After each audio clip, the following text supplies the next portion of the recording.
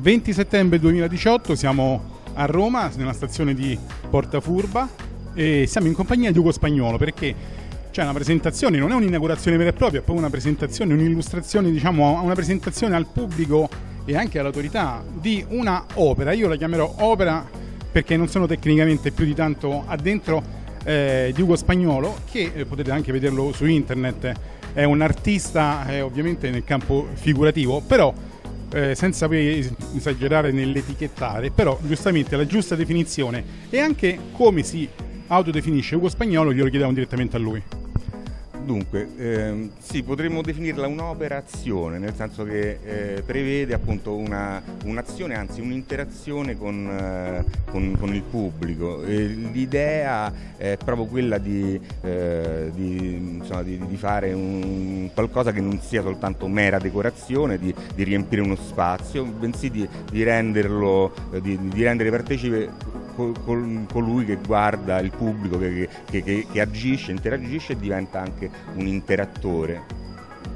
Abbiamo fatto delle immagini che metteremo diciamo, come coperture un po' per illustrare di che si tratta. Eh, nel descriverlo possiamo dire che eh, la parte qui della, della, stazione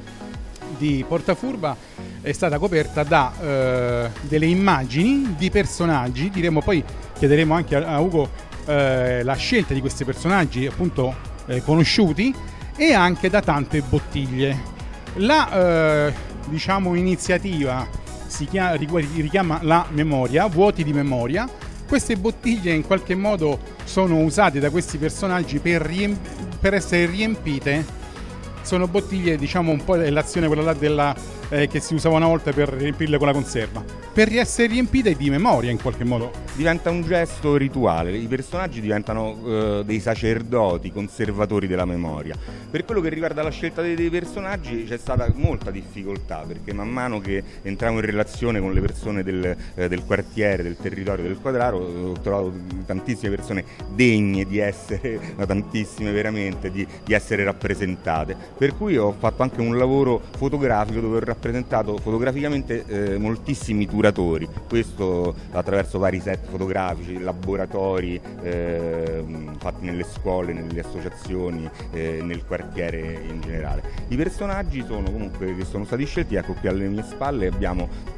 l'eroico eh, Don Sardelli della scuola 725, un'esperienza umana, pedagogica eh, incredibile, eh, l'acquedotto eh, felice dove c'erano le baracche, eh, nell'acquedotto felice lui ha, eh, ha, costituito questa scuola togliendo i ragazzi in, in qualche modo. Erano degli, degli immigrati d'antan. Sì, dalle classi differenziali dove c'era tutto questo sottoproletariato che poi serviva per la ricostruzione delle case vere e, e siamo andati a trovarlo a Cassino eh, intervistato, fotografato e rappresentato. Poi abbiamo tanti personaggi del quadrato famosi e meno famosi, dai personaggi più comuni, tra virgolette, eh, eh, meno comuni. Abbiamo le, le figlie dei rastrellati, abbiamo i partigiani, abbiamo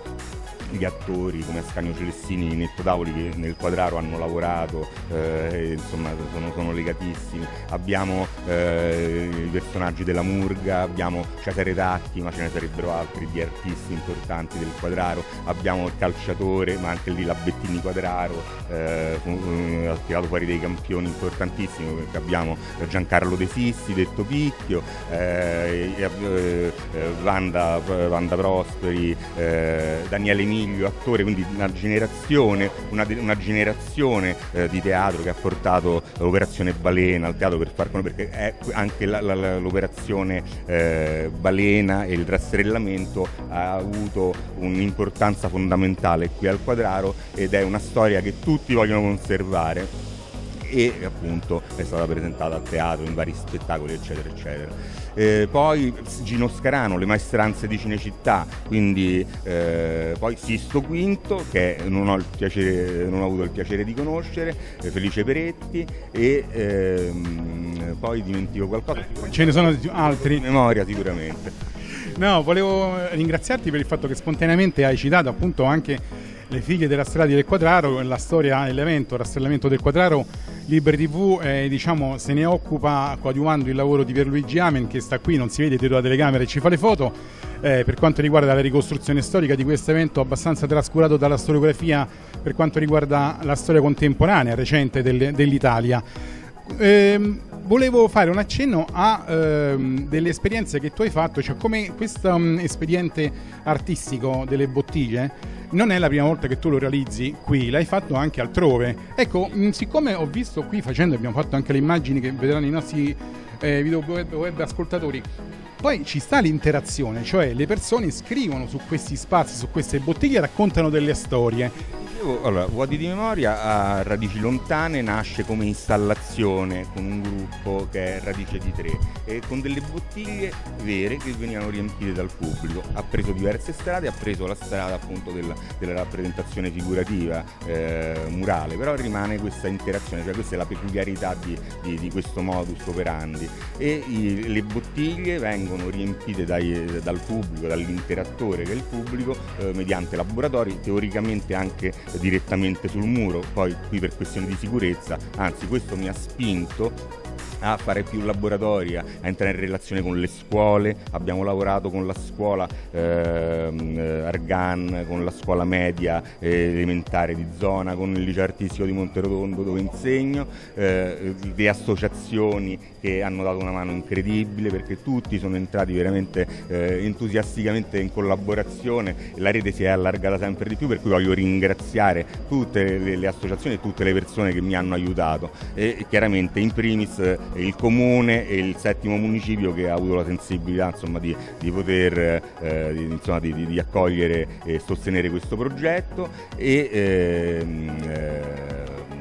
e naturalmente Atac che ospita gli spazi. Certo, ringrazio. Posso dire una cosa importante? Importantissimo, fondamentale è il finanziamento dell'opera e quindi voglio ringraziare naturalmente gli sponsor senza i quali tutto ciò non sarebbe stato possibile. Sono sponsor legati al territorio anche quelli, quindi è tutta una cosa che nasce e si realizza proprio qui. Tutti, perché eh, comunque abbiamo eh, in primis Sergione Sant'Angelo con l'Harley Rock Crew eh, che mi ha anche ospitato, mi ha dato una residenza e mi ha dato l'opportunità di, di, di lavorare qui in zona poi abbiamo eh, il panificio eh, storico dei Quintili, eh, Carra, il bar Carra e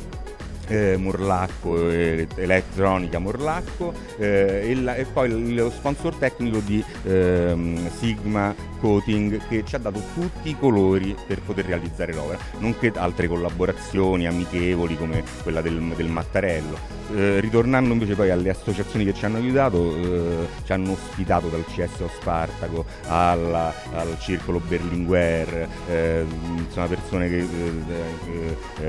Loris Antonelli, Antonelli, eh, Giovanna Colamussi, Salvatore Salmeri, eh, sicuramente dimentico qualcuno, Sergio Tosoni che ha lo studio eh, fotografo, artigiano del quadrato storico che ha ospitato ben una decina di set fotografici, così anche il circolo Berlinguer, insomma perché siamo andati giro il Quadracoro, 60 e più persone entusiaste che ci hanno dato le bottiglie, ne hanno riempite, le hanno raccolte per il quartiere. Insomma è stata una collaborazione, è stata una cosa veramente magica, molto molto molto eh, un'esperienza proprio ricca. Mi... A questo punto noi io mi sentirei anche di